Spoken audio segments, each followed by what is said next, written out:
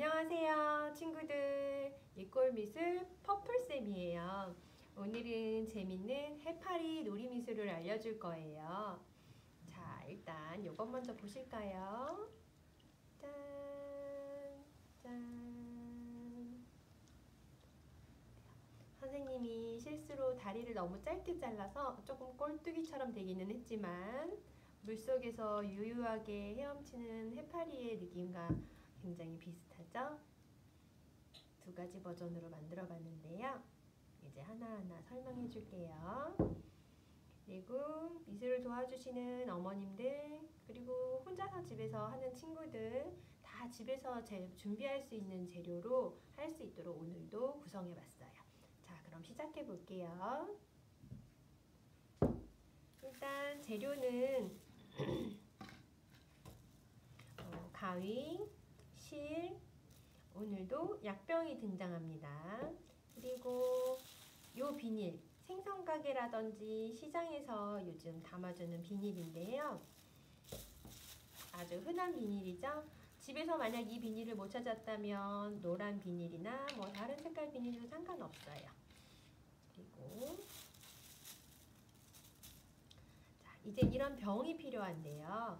이거는 선생님이 즐겨 먹는 BTS 커피랍니다. 이런 커피병의 껍데기를 벗겨서 사용하기도 하고요. 그리고 이 병은 다이소에서 살 수 있어요. 그리고 집에 고춧가루병이라든지 견과류병 여러 가지 투명한 플라스틱 병이나 유리병이 있을 거예요. 그런 것들 중 하나 비워서 재활용으로 해줘도 좋겠죠. 그럼 이제 만들기 시작해 볼게요. 이 비닐을 이미 선생님이 많이 썼어요. 비닐을 자를 건데요. 꼭 뭐 동그랗게 자르거나 어떤 모양이 정확해야 되는 거는 아니에요. 그냥 적당하게 자를 거예요.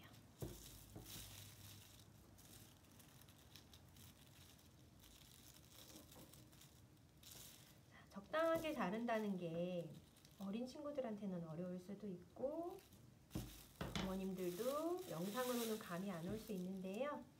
자, 손바닥을 봤을 때 이 정도 크기면 되겠죠? 그리고 병이 작다면 나중에 다리를 짧게 잘라주면 돼요. 여기에서 중요한 건 이제 해파리의 머리, 동그란 부분을 만들어 줄 거예요. 이렇게 잡고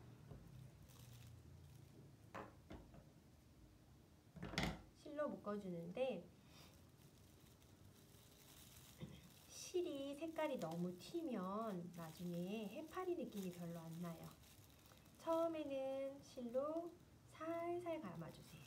너무 꽉 묶으려고 하지 마시고요. 그 이유는 이 동그란 부분에 물이 들어갈 거기 때문에 너무 꽉 조이지 않게 여유를 남겨주셔야 돼요. 그리고 다시 벌려보면 여기에 조금의 틈이 생기겠죠? 그리고 여기에는 물을 담아 놓은 거예요. 자, 우리 약병이 여러 가지로 열일하죠.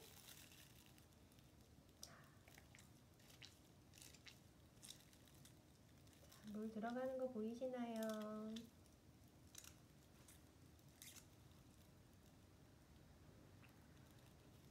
자, 이렇게 넣어서 어느 정도 머리에 물이 들어간 동그란 느낌이 들었을 때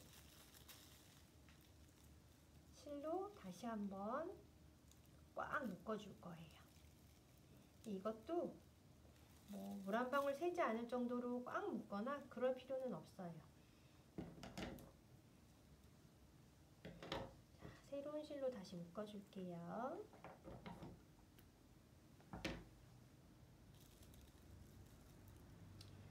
예전에 우리 다섯 살, 여섯 살반 친구들이 이 만들기를 하고 너무너무 행복해하는 모습을 봤어요.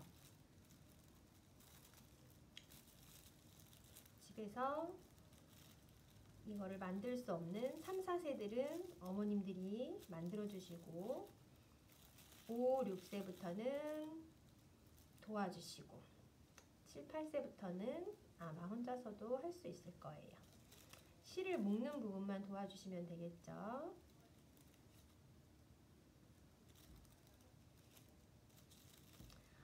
3, 4세 아기들은 어머님들이 다 해서 놀잇감을 만들어주는 정도의 수준이 되겠지만 아이들한테는 사주는 장난감보다는 또 새로운 자극이 될 수 있어요.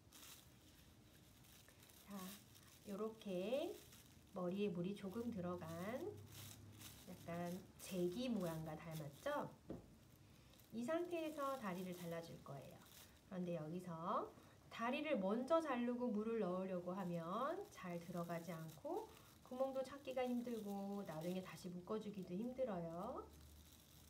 미술학원에서 친구들한테 미술 시켜주는 선생님들도 그 부분 주의해서 순서를 정해주세요. 자, 여러 겹 한꺼번에 잘랐고요.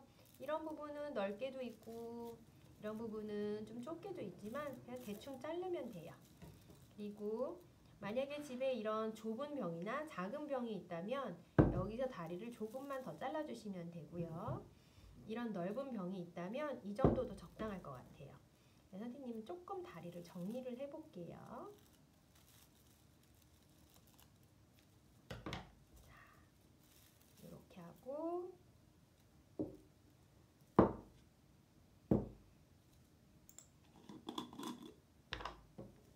새 병을 꺼냈어요.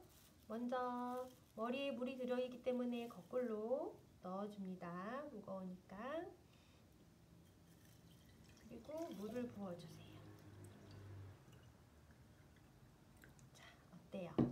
정말 간단하죠?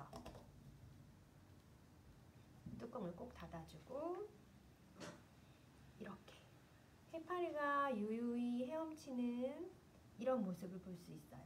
그런데 지금 제가 물을 너무 많이 부은 것 같아요. 조금만 빼볼게요. 유연하게 움직일 수 있도록 공간을 조금 확보해 주는 것도 좋을 것 같아요. 짠짠. 자, 이런 모습으로 보여줄 수 있어요. 그리고 여기에서 더 미술학원 선생님들은 여러 가지 재료들을 활용하실 수 있겠지만 집에서는 많은 재료들은 없잖아요. 그래서 제가 빨대를 가지고 조금 더 꾸미는 걸 생각해 봤어요. 어, 이런 색깔 빨대가 있으시다면 색깔 빨대를 잘라 주시고요.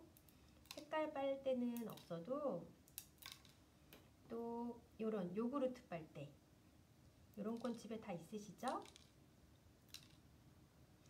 없으면 동네에서 만나는 야쿠르트 아줌마한테 조금 얻을 수 있겠죠.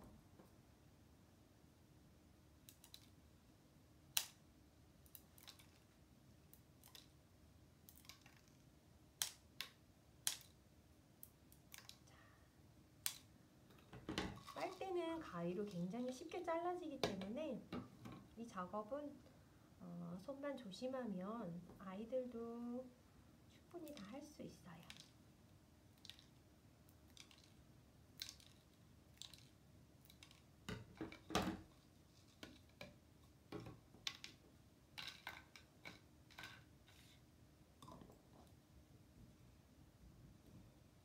자, 어떤가요? 해파리만 있을 때보다 빨대들이랑 같이 움직이는 모습이 뭔가 더 신비로워 보이지 않나요? 이렇게 하고 아이들이 가지고 놀고 자, 여기다가 이제 어, 뭔가 시트지가 있다면 시트지로 꾸며줄 수도 있고요. 매직으로 그림을 그려줄 수도 있어요. 어, 응용하는 건 무한대예요. 하지만 집에는 미술 재료가 많지 않기 때문에 제가 지금 코로나로 집에서 아이들과 힘들어하는 어머님들을 위한 미술놀이이기 때문에 최대한 집에 있는 것들로만 응용을 할 수 있도록 설명을 드리고 있어요. 이렇게 하고 아이들이 몇 번 흔들고 끝난다 이러면 너무 아쉽죠? 아이들에게 미술 지도는 항상 그 이상의 상상을 할 수 있도록 안내를 해주시는 게 좋아요. 자, 이 해파리의 이름은 뭘까? 어디서 왔을까? 왜 여기에 갇혔을까? 얘는 지금 여기 갇혀서 행복한 걸까? 그리고 지금 여기서 재밌게 놀고 있는 걸까? 아니면 친구들과 가족을 찾아 떠나고 싶은 걸까?